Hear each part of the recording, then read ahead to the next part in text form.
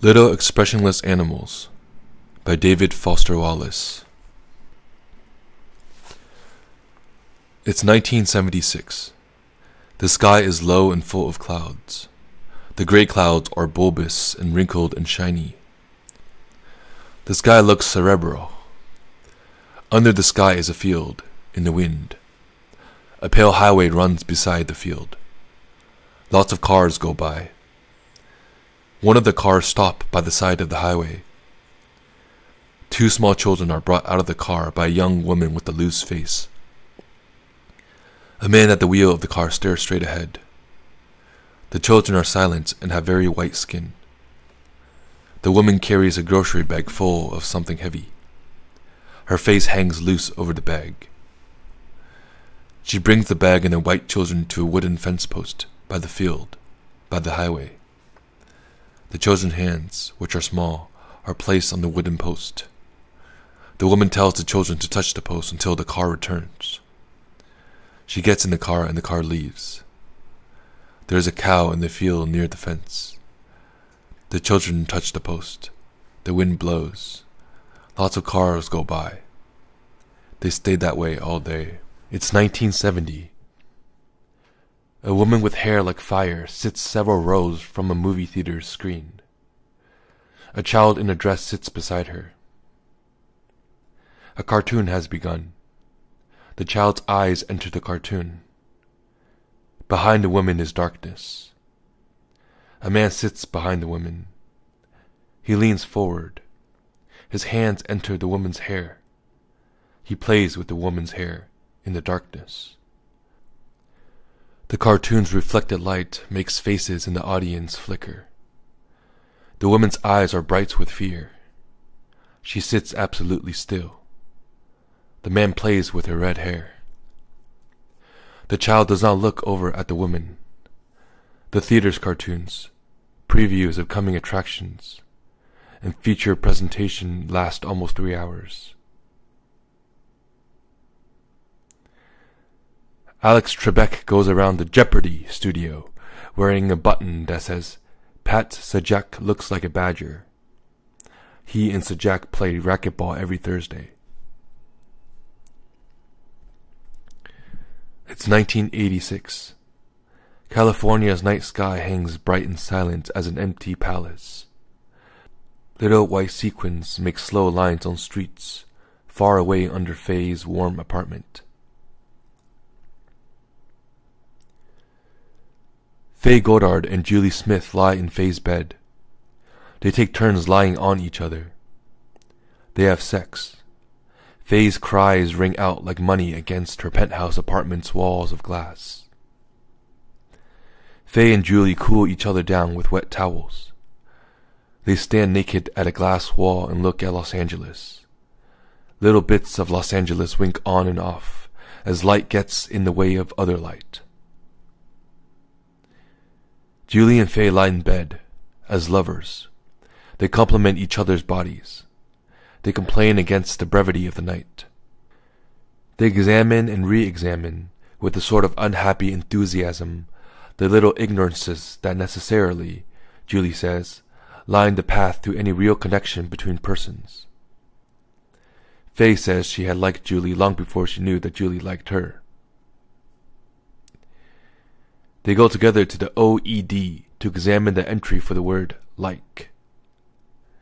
They hold each other.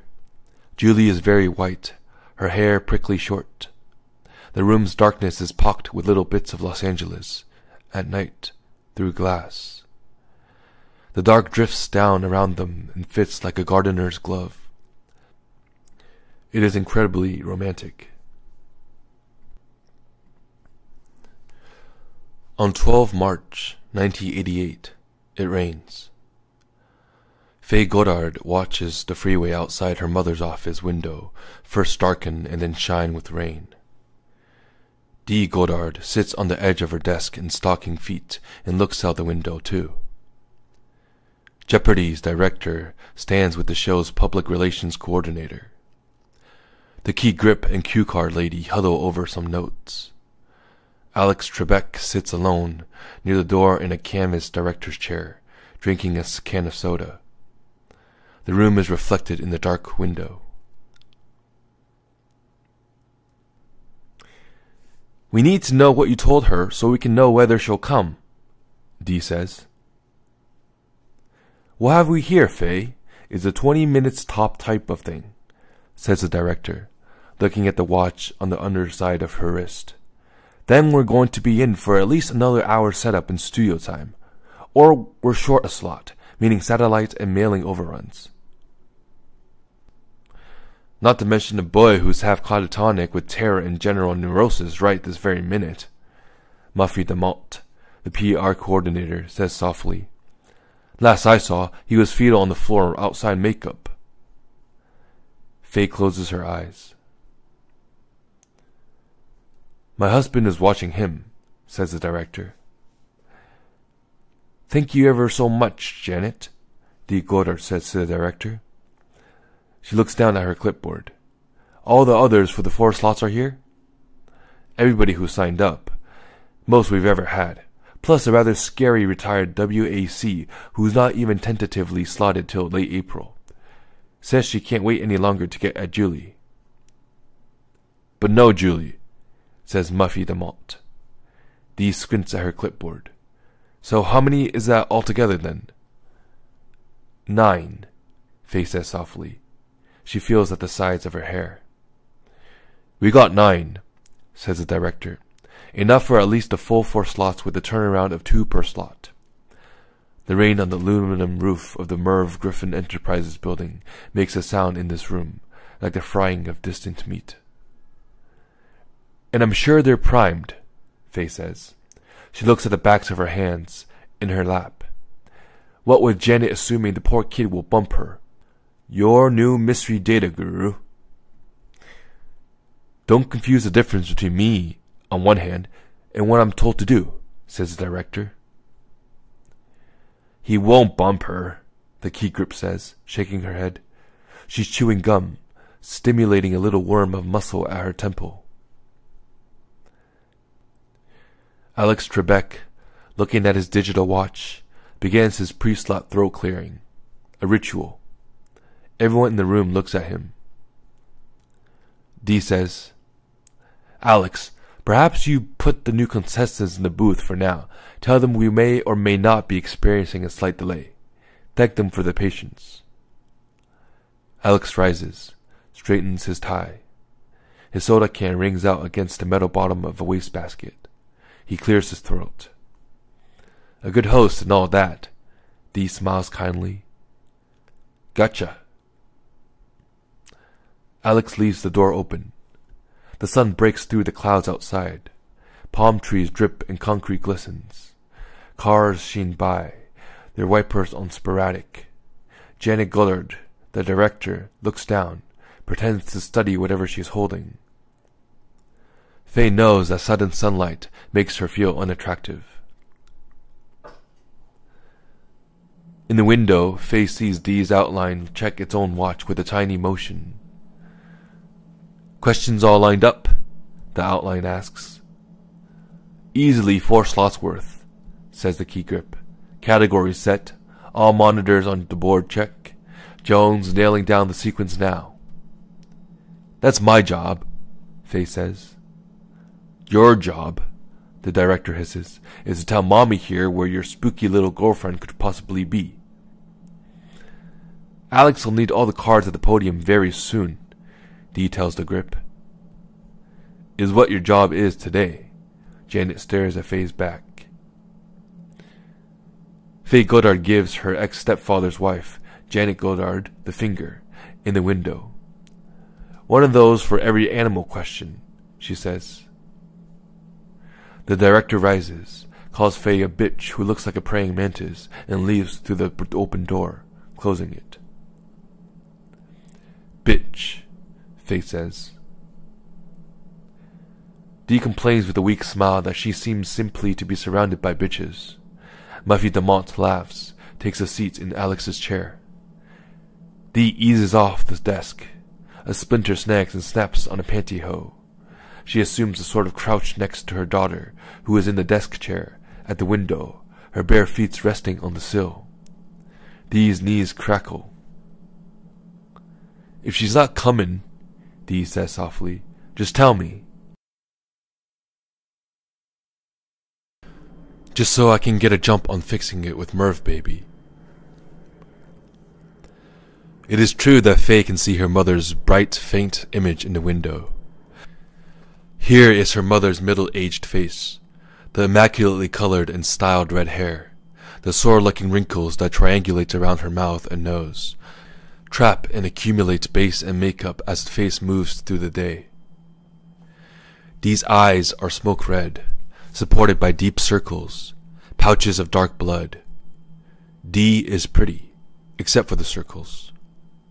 This year, Faye has been able to see the dark bags just starting to bulge out from beneath her own eyes, which are her father's, dark brown and slightly thyroidic. Faye can smell Dee's breath. She cannot tell whether her mother has had anything to drink. Faye Goddard is 26. Her mother is 50. Julie Smith is 20. Dee squeezes Faye's arm with a thin hand that's cold from the office. Faye rubs at her nose. She's not going to come, she told me. You'll have to beg it. The key grip leaps for a ringing phone. I lied, says Faye. My girl. Dee pats the arm she squeezed. I sure didn't hear anything, says Muffy Malt. Good, the grip is saying. Get her into makeup. She looks over at Dee. You want her in makeup? You did good, Dee tells Faye, indicating the closed door. I don't think Mr. Griffin is well, says the cue card lady. He and the boy deserve each other. We could throw in the WAC. We can call her General Neurosis. Dee uses a thin hand to bring Faye's face close to her own. She kisses her gently. Their lips fit perfectly, Faye thinks suddenly. She shivers in the air conditioning. Jeopardy! Queen dethroned after three-year reign. Headline: Variety, 13 March 1988. Let's all be there, says the television. Where else would I be? asks Dee Goddard, in her chair, in her office, at night, in 1987. We bring good things to life, says the television. So did I, says Dee. I did that. Just once. Dee sits in her office at Merv Griffin Enterprises every weeknight and kills a thinkling pitcher of wet weak martinis. Her office walls are covered with store-bought aphorisms. Humpty Dumpty was pushed. When the going gets tough, the tough go shopping. Also autographed photos. Dee and Bob Barker when she wrote for Truth or Consequences. Merv Griffin giving her a plaque. Dee and Faye between Wink Martindale and Chuck Barris at a banquet. Dee uses her remote mat panel to switch from NBC to MTV on cable. Consumptive looking boys in makeup play guitars that look more like jets or weapons than guitars. Does your husband still look at you the way he used to? asks the television. Safe to say not, Dee says dryly, drinking. She drinks too much, Julie Smith says to Faye. It's for the pain, Faye says, watching. Julie looks to the remote viewer in Faye's office. For killing the pain or feeding it. Faye smiles. Julie shakes her head. It's mean to watch her like this. You deserve a break today, says the television. Milk likes you. The more you hear, the better we sound. Aren't you hungry for a flame broiled whopper? No, I'm not hungry for a flame broiled whopper, says Dee, sitting up straight in her chair. No, I'm not hungry for it. Her glass falls out of her hand. It was nice what she said about you, though. Julie is looking at the side of Faye's face. About bringing one good thing to life. Faye smiles as she watches the viewer. Did you hear about what Alex did today? Sajak says he and Alex are now at war. Alex got in the engineer's booth and played with the applause sign all through the wheels third slot. The audience was applauding when people lost turns and stuff. Sajak says he's going to get him. So you don't forget, says the television. Look at all you get. Wow, says Dee. She sleeps in her chair.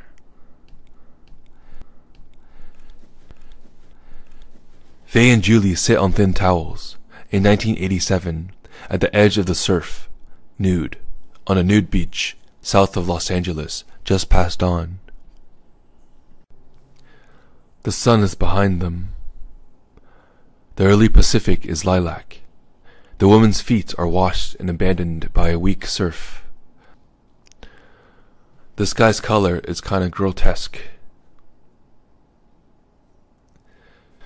Julie has told Faye that she believes lovers go through three different stages in getting really to know one another. First, they exchange anecdotes and inclinations. Then, each tells the other what she believes. Then each observes the relation between what the other says she believes and what she in fact does. Julie and Faye are exchanging anecdotes and inclinations for the 20th straight month. Julie tells Faye that she, Julie, best likes contemporary poetry, unkind women, words with univocal definitions, faces whose expressions change by the second, an obscure and limited edition Canadian encyclopedia called Laplace's Guide to Total Data, the gentle smell of powder that issues from the makeup compacts of older ladies, and the OED. The encyclopedia turned out to be lucrative, I guess you'd have to say.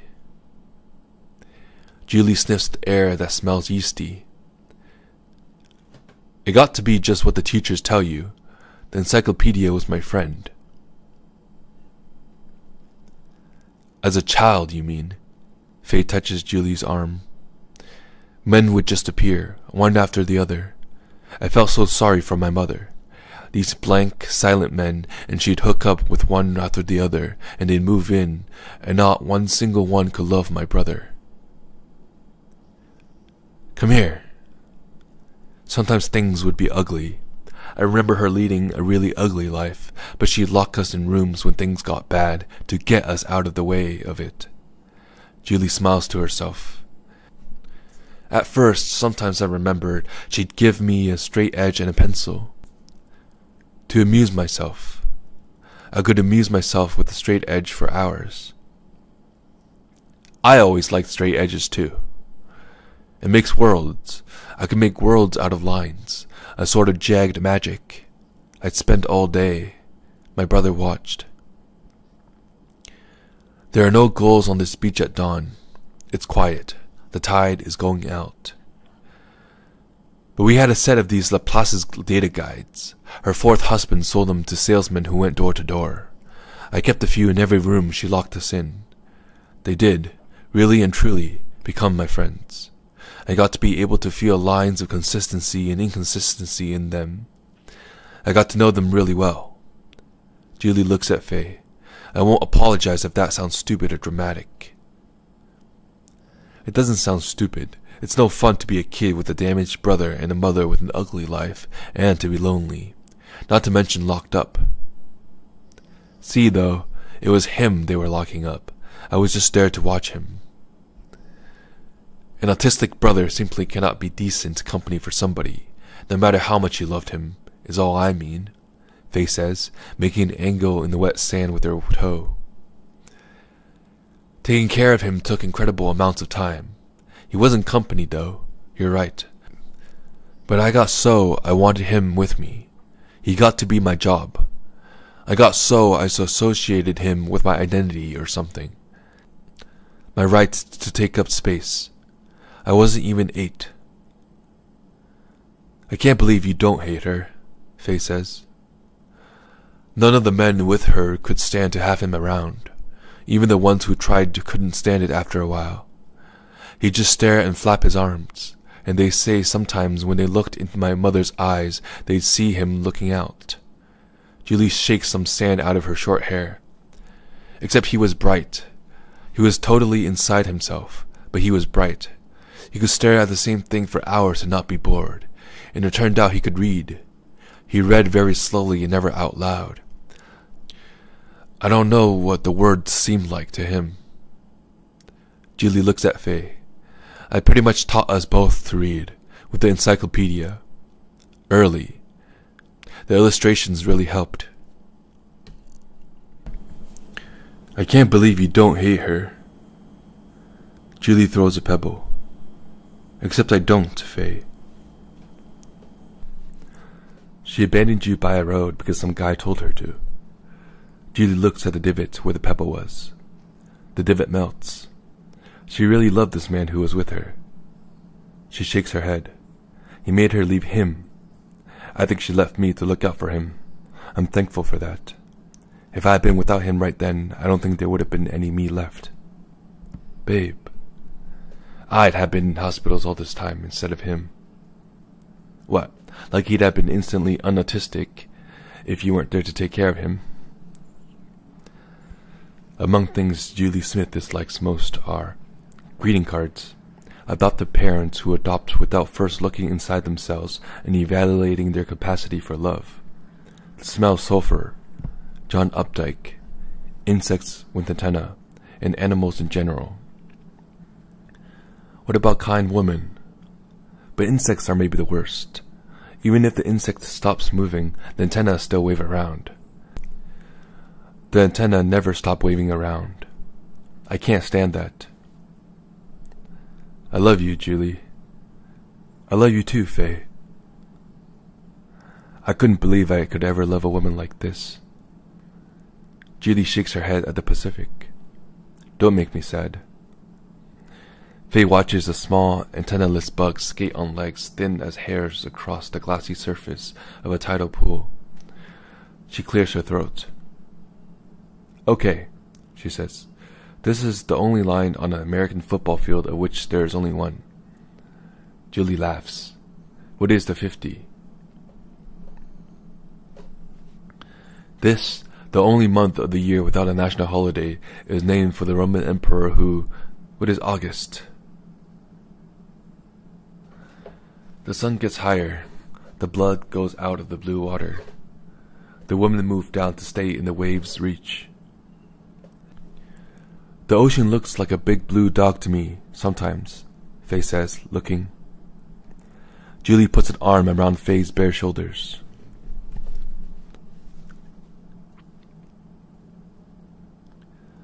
We loved her like a daughter, said Jeopardy!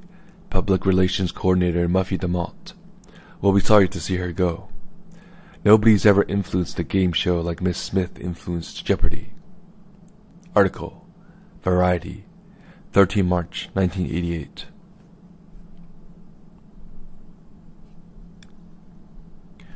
Weak waves hang, snap, slide. White fingers spill onto the beach and melt into the sand.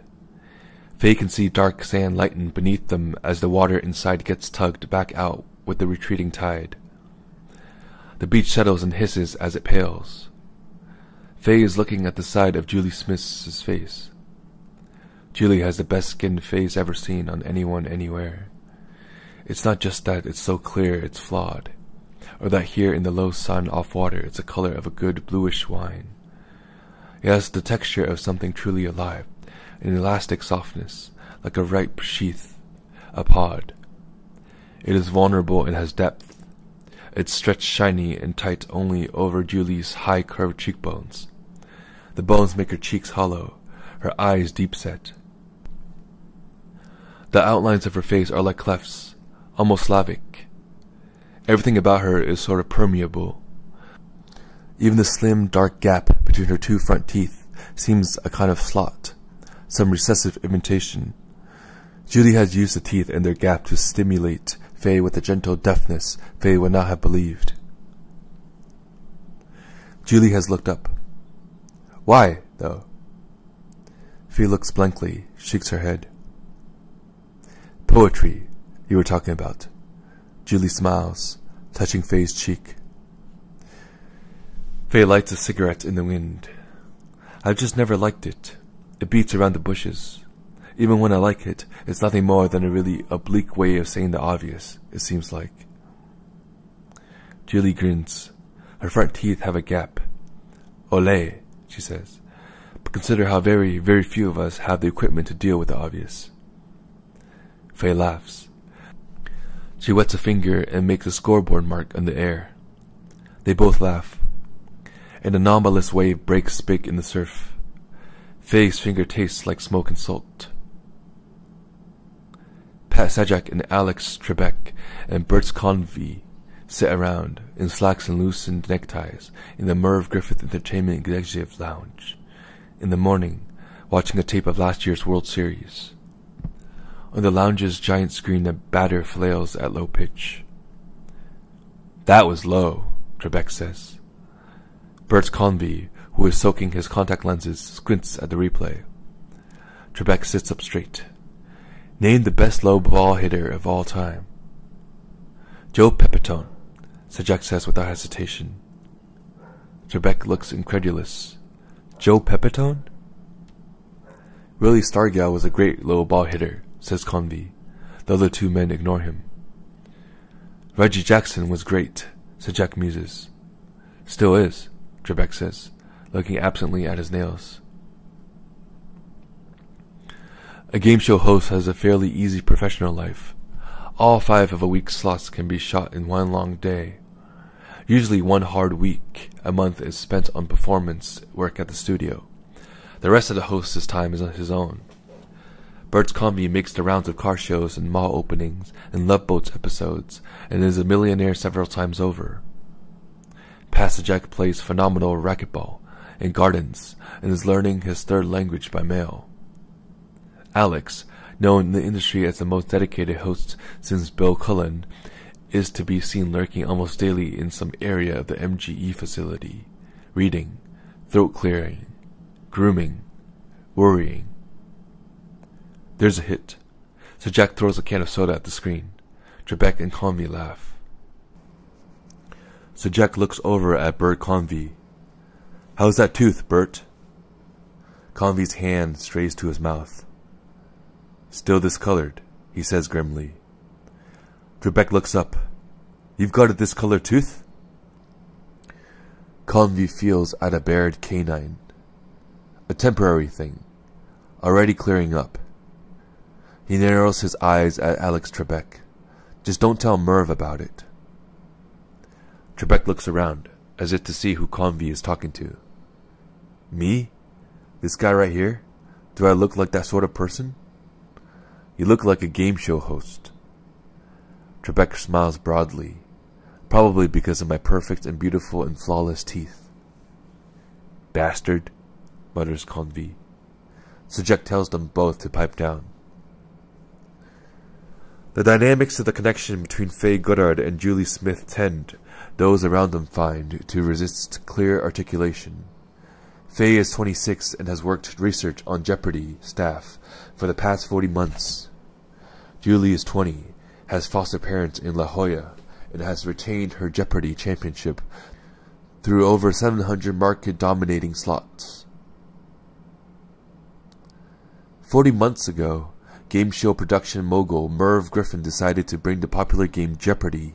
back from syndicated oblivion to retire Art Fleming in favor of the waxily handsome, fairly distinguished, and predominantly dedicated Alex Trebek, the former model who'd made his bones in the game show industry hosting the short-lived High Rollers for Barris NBC.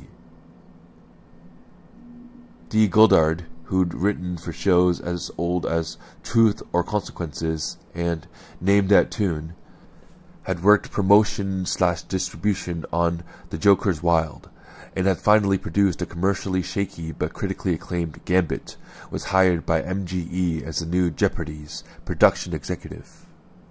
A period of disordered tension followed Griffin's decision to name Janet Lerner Goddard, 48, winner of two Clios, but also the wife of Dee's former husband, as director of the revised show.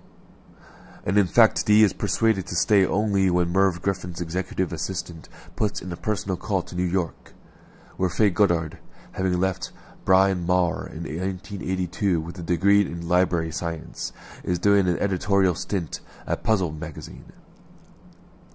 Merv's right-hand man offers to put Faye on staff at Jeopardy as category slash question researcher. Faye works for her mother. Summer 1985. Faye has been on the Jeopardy team maybe four months when a soft-spoken and weirdly pretty young woman comes in off the freeway with a dirty jeans jacket, a backpack, and a Times classified ad detailing an MGE contestant search. The girl says she wants Jeopardy. She's been told she has a head for data. Faye interviews her and is mildly intrigued. The girl gets a solid but by no means spectacular score on a CBE general knowledge quiz, this particular version of which turns out to feature an important zoology section. Julie Smith barely makes it into an audition round. In a taped audition round, flanked by a swarthy Shriner from Encino and a twig-thin Reading librarian with a towering blonde wig, Julie takes the game by a wide margin but has trouble speaking clearly into her microphone, as well as difficulty with the quirky and distinctive Jeopardy inversion by which the host asks the answer and a contestant supplies the appropriate question. Faye gives Julie an addition score of 3 out of 5. Usually only 5s and 4s are to be called back. But Alex Trebek, who spends at least part of his free time haunting audition rounds, likes the girl, even after she turns down his invitation for a cola at the MGE commissary. Indeed, Goddard and Muffy DeMott pick Julie out for a special mention from among 18 other prospectives on the audition tape. And no one on the staff of the program, still in its stressful initial struggle to break back into a respectable market share, has anything against hauntingly attractive young female contestants.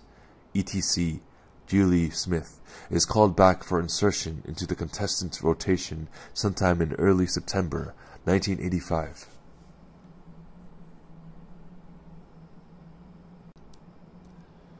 Jeopardy! Slots 46 through 49 are shot on 17th September. Miss Julie Smith of Los Angeles first appears in the 46th slot. No one can quite remember who the reigning champion was at that time palindromes, musical astrology, the 18th century, famous Edwards, the Bible, fashion history, states of mind, sports without balls. Julie runs the board in both rounds. Every question. Never been done before, even under Fleming. The other two contestants, Slack and Gray, have to be helped off stage. Julie wins $22,500, every buck on the board, in half an hour. She earns no more in this first match only because a flustered Alex Trebek declares the final Jeopardy wagering round moot, Julie Smith having no incentive to bet any of her winnings against opponents' scores of 0 and 400, respectively. A wide-eyed and grinning Trebek doffs a pretend cap to a blank-faced Julie as electric bongos rattles to the running of the closing credits.